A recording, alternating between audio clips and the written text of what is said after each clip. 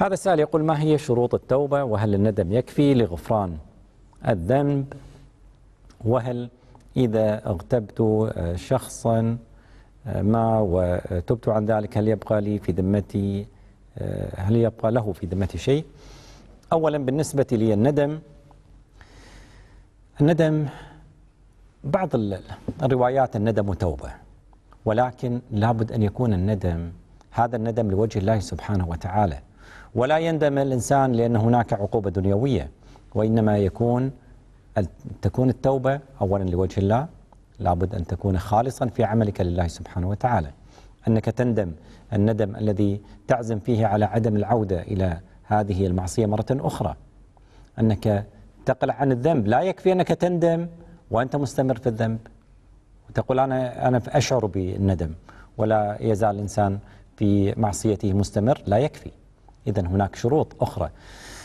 من قال بالرواية الندم توبة هذه بالضوابط العامة الموجودة في شريعتنا الإسلامية لابد أن تكون خالصة لوجه الله لابد أن يقلع عن الذنب لابد أن يعزم على عد... أن لا يعود إلى ذلك مستقبلا لابد أن يعيد الحقوق إلى أصحابها فلا يكفي مجرد لكن الندم.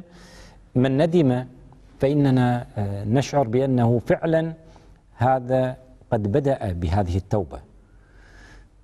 فليقلع عن الذنب وليعزم على أن لا يعود إلى ذلك مستقبلا وليكن في ندمه أنه لوجه الله سبحانه وتعالى وليعيد الحقوق إلى أصحابها.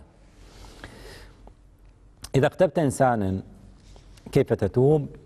بالنسبة لي الغيبة إذا اغتبت أحدا. فلا تخبره. عندما ترى بأنك قد اغتبته البارحة وقلت عنه كذا وكذا فإنك بإخبارك بما فعلت فأنت قد آلمته. فمن تخبره بأنك قد اغتبته البارحة وسأت إليه فسيتلقاك بوجه فإذا أخبرته فسيتغير وجهه عليك.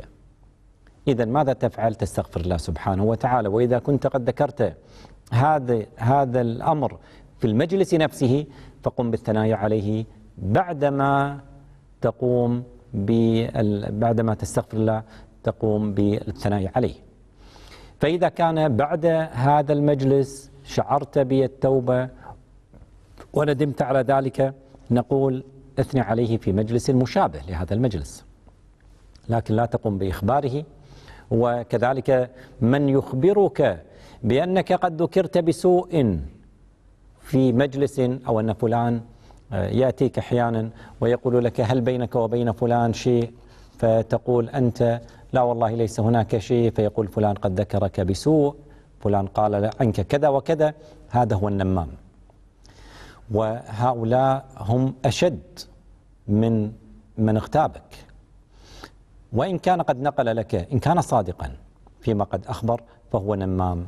هذا النمام الذي قال عنه النبي عليه الصلاة والسلام لا يدخل الجنة نمام لأنه يشعل فيما بين الناس فيشعل قلبك ويسيء إليك وأنت أساسا لم تعلم وذاك قد خافك ولم يقل كلاما أمامك وهذا الذي قد نقل إليك ولم يراعيك كما راعاك الآخر فهو أسوأ ممن قد اغتابك الأخوة في الكنترول أخبرون بتالي الوقت. أشكركم على متابعتكم الكريمة.